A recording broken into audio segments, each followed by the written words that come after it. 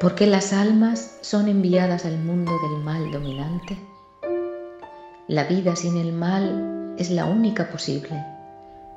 La vida sin el mal es la única posible. El alma cometió un pequeño error y mostró debilidad en los mundos celestiales.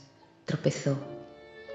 La sabiduría le permitió una cruz de pruebas para la corrección de los programas bondadosos. Nuestra bondadosísima Señora siempre encuentra una solución maravillosa en circunstancias irresolubles.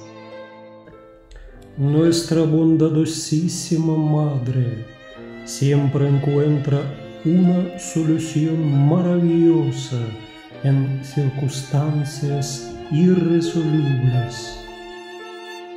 En la misma medida en la que el enemigo es pérfido y calculador, la sabiduría de la buena providencia y sus bendiciones conducen providencialmente al bien final. La sabiduría de la buena providencia conduce providencialmente al bien final. Del libro de nuestro adorado Padre, el pionero.